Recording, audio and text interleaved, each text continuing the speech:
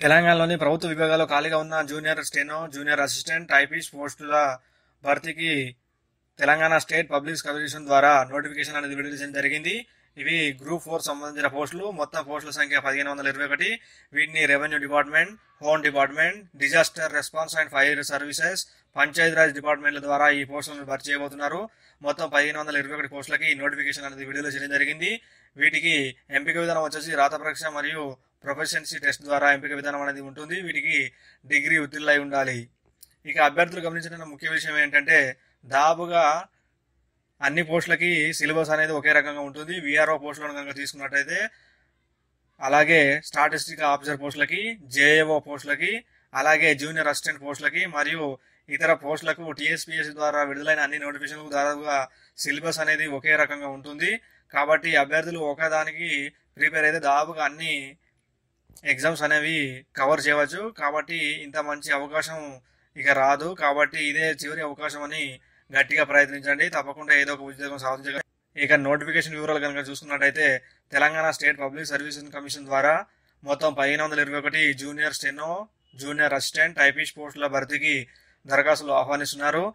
దరఖాస్తు పోస్టుల వివరాలు కనుక చూసుకున్నట్టయితే మొత్తం పదిహేను వందల ఇరవై ఒకటి పోస్టులు ఉన్నాయి ఇవి జూనియర్ స్టెనో నలభై ఏడు పోస్టులు. టైపిస్ట్ నాలుగు వందల ముప్పై ఏడు పోస్టులు జూనియర్ అసిస్టెంట్ ఒక వెయ్యి ముప్పై ఏడు పోస్టులు ఉన్నాయి ఇందులో జూనియర్ స్టెనో పోస్టులు వచ్చేసి రెవెన్యూ డిపార్ట్మెంట్లో పదిహేను హోమ్ డిపార్ట్మెంట్లో ఇరవై రెండు ఐ అండ్ క్యాట్ డిపార్ట్మెంట్లో తొమ్మిది disaster response and fire services డిపార్ట్మెంట్లో ఒక పోస్ట్ ఉంది.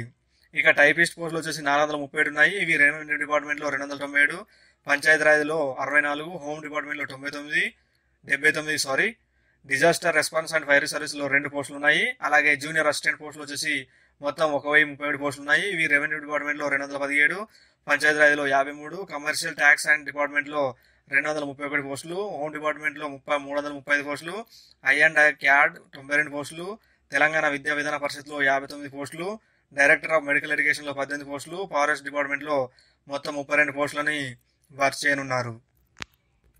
ఇక ఈ పోస్టులకి అప్లికేషన్లని ఏడు జూన్ రెండు వేల పద్దెనిమిది నుండి స్వీకరిస్తున్నారు. అలాగే దరఖాస్తు చేయడానికి మరియు పేమెంట్ చేయడానికి ఆఖరి తేదీ వచ్చేసి ఆరు జూలై రెండు వేల పద్దెనిమిదిగా నిర్ణయించారు. అలాగే ఎగ్జామ్ వచ్చేసి ఏడు అక్టోబర్ రెండు వేల పద్దెనిమిదిలో నిర్వహించే అవకాశం ఉంది. ఇది కంప్యూటర్ బేస్డ్ అంటే ఆన్లైన్ టెస్ట్ ద్వారా కానీ లేదా ఆఫ్లైన్ ఓఎంఆర్ బేస్డ్లో ఎగ్జామ్ అనేది నిర్వహించడం జరుగుతుంది. ఇక ఈ పోస్టులకి పే స్కేల్ కనుక చూసుకున్నట్టయితే దాదాపుగా నెలకి అభ్యర్థులకు పదహారు వేల నాలుగు వందల రూపాయల నుండి నలభై తొమ్మిది వేల ఎనిమిది వందల డెబ్బై వరకు పే స్కేల్ అనేది ఉంటుంది. ఇక ఎడ్యుకేషన్ క్వాలిఫికేషన్ వివరాలు కనుక చూసుకున్నట్టయితే జూనియర్ స్టెనో పోస్టులకి డిగ్రీతో పాటు higher grade typewriting shorthand తెలుగులో తప్పనిసరిగా ఉండాలి. ఒకవేళ ఈ అర్హతలు లేని అభ్యర్థులు లేకుంటే లోయర్ గ్రేడ్ అభ్యర్థులతో ఆయా పోస్టులను భర్తీ చేశారు. తెలుగు రై- టైప్ రైటింగ్ ప్రభుత్వ స్టాండర్డ్ కీబోర్డ్పై పరీక్ష ఉంటుంది. అలాగే టైపిస్ట్ పోస్టులకి డిగ్రీతో పాటు higher grade Telugu typewriting కలిగి ఉండాలి. ఒకవేళ హైయర్ గ్రేడ్ అర్హత లేని అభ్యర్థులను ఉంటే లోయర్ గ్రేడ్ అభ్యర్థులను ఎంపిక చేయడం జరుగుతుంది. తెలుగు టైప్ రైటింగ్ అభ్యర్థులు లేకుంటే ఆంగ్లం వచ్చిన వారిని పరిగణలోకి తీసుకుంటారు. అయితే అభ్యర్థులు ఎంపికైన తర్వాత ఏడాదిలోగా తమ తెలుగు అర్హత అనేది సాధించాల్సి ఉంటుంది. ఇక జూనియర్ అసిస్టెంట్ పోస్టులకి కేవలం డిగ్రీ ఉద్యోగులు అయితే సరిపోతుంది. ఇక ఏజ్ బ్యూరోలు కనుక చూసుకున్నట్టయితే ఒకటి జూలై రెండు వేల పద్దెనిమిది నాటికి అభ్యర్థుల వయసు పద్దెనిమిది నుండి నలభై నాలుగు ఏళ్ళలోపు ఉండాలి. ఏజ్ రిలాక్సేషన్ విషయానికి వస్తే ఎస్సీ ఎస్టీ బీసీలకు ఐదు సంవత్సరాలు ఫిజికల్ హ్యాండిక్యాప్ అంటే వికలాంగులకు పది సంవత్సరాలు అలాగే ఎక్స్ సర్వీస్ మ్యాన్ ఎన్సీసీ వాళ్ళకి మూడు సంవత్సరాలు అప్పర్ ఏజ్ రిలాక్సేషన్ అనేది ఉంటుంది. అలాగే ఎగ్జామ్ ఫీజు వివరాలు కనుక చూసుకున్నట్టయితే రెండు వందల రూపాయలు అప్లికేషన్ ఫీజు మరియు ఎనభై రూపాయలు ఎగ్జామినేషన్ ఫీజు ఉంటుంది. తెలంగాణ రాష్ట్రానికి చెందిన బీసీ ఎస్సీ ఎస్టీ అభ్యర్థులకు మరియు అలాగే పద్దెనిమిది నుండి నలభై నాలుగేళ్ళ తెలంగాణ నిరుద్యోగ అభ్యర్థులు ఎగ్జామ్ ఫీజు పే చేయాల్సిన అవసరం లేదు. కేవలం అప్లికేషన్ ఫీజు రెండు వందలు పే చేస్తే సరిపోతుంది. ఇక అప్లికేషన్ ఫీజు ఆన్లైన్లో చేసుకోవాల్సి ఉంటుంది. దానికోసం ఎస్బీఐ ఈపే ద్వారా మీ యొక్క అప్లికేషన్ ఫీజుని ఆన్లైన్లో చేయాల్సి ఉంటుంది. ఇక ఎగ్జామ్ సెంటర్స్ వచ్చేసి మీ యొక్క సొంత జిల్లాలో ఎగ్జామ్ సెంటర్ అనేది నిర్వహించడం జరుగుతుంది.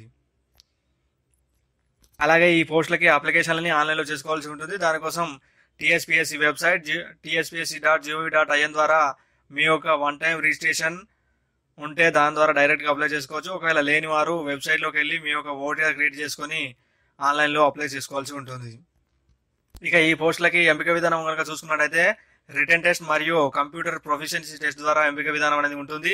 జూనియర్ స్టెనో మరియు టైపిస్ట్ పోస్టులకు మాత్రమే ప్రొఫిషియన్సీ టెస్ట్ అనేది ఉంటుంది. జూనియర్ అసిస్టెంట్ పోస్టులకి కేవలం రిటర్న్ ఎగ్జామ్ ద్వారా మాత్రమే ఎంపిక విధానం అనేది ఉంటుంది.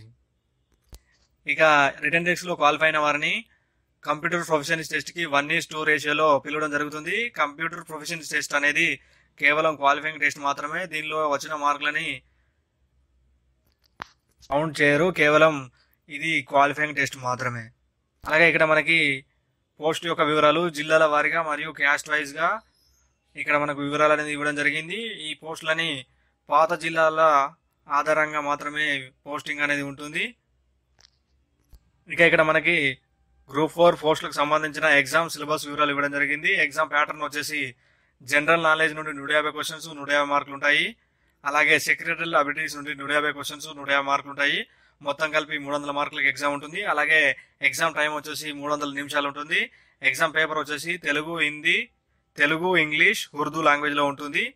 పేపర్ వచ్చేసి ఇంగ్లీష్ తెలుగు ఉర్దూ లాంగ్వేజ్ మాత్రమే ఎగ్జామ్ పేపర్ అనేది నిర్వహించడం జరుగుతుంది. ఇక చివరిలో మనకి ఎగ్జామ్ యొక్క సిలబస్ వివరాలు ఇవ్వడం జరిగింది.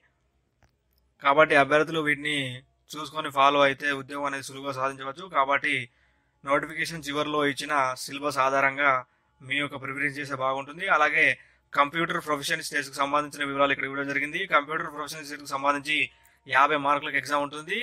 ఇది ముప్పై నిమిషాలకు ఎగ్జామ్ టైం వచ్చేసి ముప్పై నిమిషాలు ఉంటుంది. ఇది కేవలం క్వాలిఫైయింగ్ టెస్ట్ మాత్రమే.